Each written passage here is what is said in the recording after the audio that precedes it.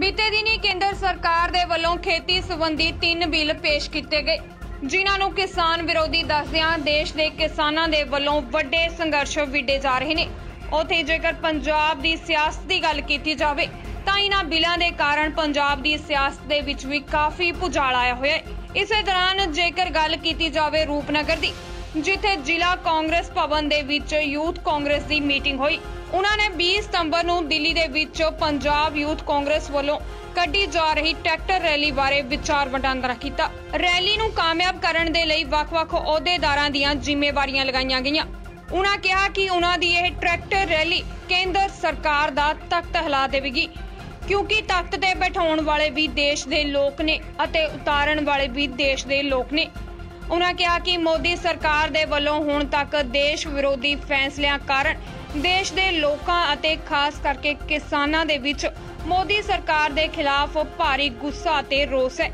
ਉਹਨਾਂ ਕਿਹਾ ਕਿ ਕਿਸਾਨ ਦੇਸ਼ ਦੀ ਰੀੜ ਦੀ ਹੱਡੀ ਹੈ ਅਤੇ ਦੇਸ਼ ਦਾ ਅੰਨਦਾਤਾ ਹੈ, ਜੋ ਅੱਜ ਆਪਣੇ ਆਪ ਨੂੰ ਠੱਗਿਆ ਹੋਇਆ ਮਹਿਸੂਸ ਕਰ ਰਿਹਾ ਹੈ। ਉਹਨਾਂ ਕਿਹਾ ਕਿ ਅੰਨਦਾਤੇ ਨਾਲ ਮੋਦੀ ਸਰਕਾਰ ਨੇ ਬਹੁਤ ਮਾੜਾ ਸਲੂਕ ਕੀਤਾ। ਜਿਸ ਕਾਰਨ ਅੱਜ ਦੇਸ਼ ਦਾ ਢਿੱਡ ਭਰਨ ਵਾਲੇ ਪੰਜਾਬ ਦੇ ਕਿਸਾਨ ਸੜਕਾਂ ਤੇ ਸੰਘਰਸ਼ ਲਈ ਉਤਰੇ ਹੋਏ ਨੇ। ਇਸੇ ਦੌਰਾਨ ਉਹਨਾਂ ਨੇ ਅਕਾਲੀ ਦਲ ਤੇ ਵੀ ਨਿਸ਼ਾਨੇ ਸਿੱਧੇ।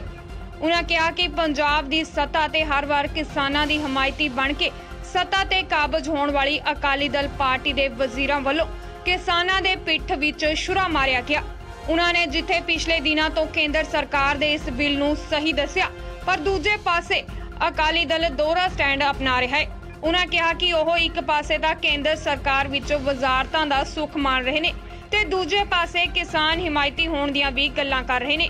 ਉਹਨਾਂ ਕਿਹਾ ਕਿ ਹੁਣ ਕਿਸਾਨ ਜਥੇਬੰਦੀਆਂ, ਵਿਰੋਧ ਪਾਰਟੀਆਂ ਅਤੇ ਕਾਂਗਰਸ ਪਾਰਟੀ ਦੇ ਵੱਲੋਂ ਮਜ਼ਬੂਤੀ ਨਾਲ ਕਿਸਾਨਾਂ ਦੇ ਹੱਕ ਦੀ ਗੱਲ ਕੀਤੀ ਗਈ ਅਤੇ ਕਿਸਾਨ ਜਥੇਬੰਦੀਆਂ ਵੱਲੋਂ ਵੱਡੇ ਪੱਧਰ ਤੇ ਪ੍ਰਦਰਸ਼ਨ ਕੀਤੇ ਗਏ। ਤਾਂ ਮਜਬੂਰੀ ਬਸ ਆਪਣੀ ਇੱਜ਼ਤ ਬਚਾਉਣ ਦੇ ਲਈ ਕਿਸਾਨਾਂ ਦੇ ਹਮਾਇਤੀ ਹੋਣ ਦਾ ਢੋਂਗ ਰਚਿਆ ਗਿਆ। ਅਤੇ ਬੀਬੀ ਹਰਸਿਮਰਤ ਕੌਰ ਬਾਦਲ ਦੇ ਵੱਲੋਂ ਕੱਲ ਕਿਸਾਨ ਵਿਰੋਧੀ ਬਿੱਲ ਪਾਸ ਹੋਣ ਤੋਂ ਬਾਅਦ ਅਸਤੀਫਾ ਵੀ ਦੇ ਦਿੱਤਾ ਗਿਆ, ਜੋ ਕਿ ਬਾਦਲ ਪਰਿਵਾਰ ਦੀ ਗਿਣੀ ਮਿੱਥੀ ਸਾਜ਼ਿਸ਼ ਹੈ ਅਤੇ ਅੱਜ ਵੀ ਉਹ ਬੀਜੇਪੀ ਦੇ ਭਾਈਵਾਲ ਨੇ। ਇਸੇ ਦੌਰਾਨ ਉਹਨਾਂ ਕਿਹਾ ਕਿ ਯੂਥ ਕਾਂਗਰਸ ਕਿਸੇ ਵੀ ਕੀਮਤ ਤੇ ਇਸ ਬਿੱਲ ਨੂੰ ਲਾਗੂ ਨਹੀਂ ਹੋਣ ਦੇਵੇਗੀ।